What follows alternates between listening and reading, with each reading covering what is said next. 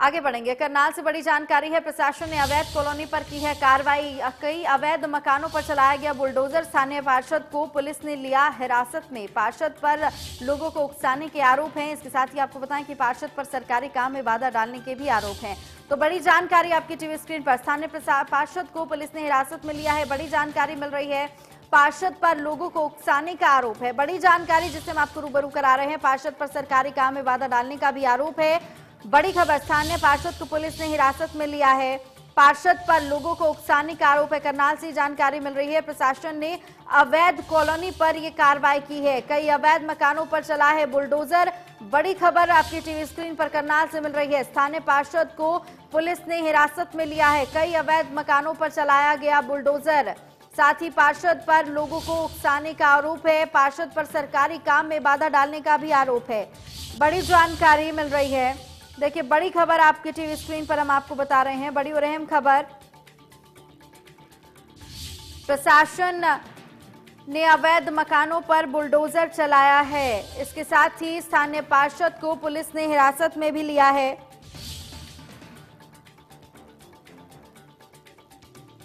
पार्षद पर लोगों को उकसाने का आरोप है। बड़ी जानकारी, पार्षद पर सरकारी काम में बाधा डालने का भी आरोप है। बड़ी खबर जिससे हम आपको रूबरू करा रहे हैं।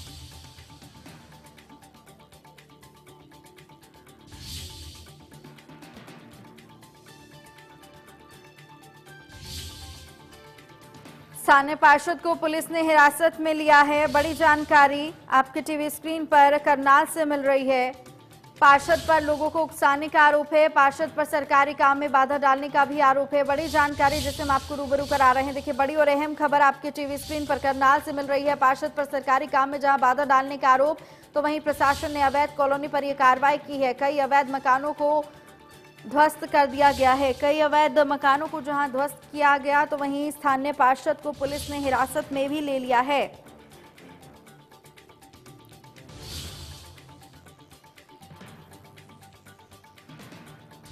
तो पार्षद पर सरकारी कामों में बाधा डालने का आरोप है। इसके साथ ही आपको बताएँ कि स्थानीय लोगों ने भी कई आरोप जो हैं वो पार्षद पर लगाए हैं। प्रशासन ने अवैध मकानों पर बुलडोजर चलाया है। कई ऐसे अवैध मकान जिनको ध्वस्त कर दिया गया, जिन पर बुलडोजर चलाया गया।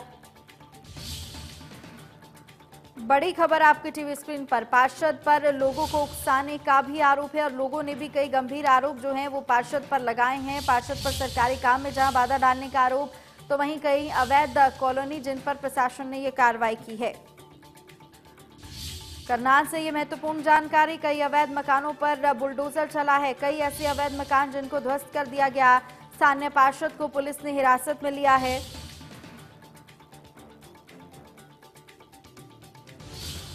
और साथ ही स्थानीय लोग जिन्होंने गंभीर आरोप पार्षद पर लगाए हैं, पार्षद पर सरकारी काम में बाधा डालने के भी आरोप हैं। तो करनाल से बड़ी जानकारी, प्रशासन ने अवैध कॉलोनी पर यह कार्रवाई की है। स्थानीय पार्षद को पुलिस ने हिरासत में फ़िलहाल ले लिया है। स्थानीय लोगों ने, क्योंकि कई आरोप जो हैं, वो पार्षद पर लगाए हैं।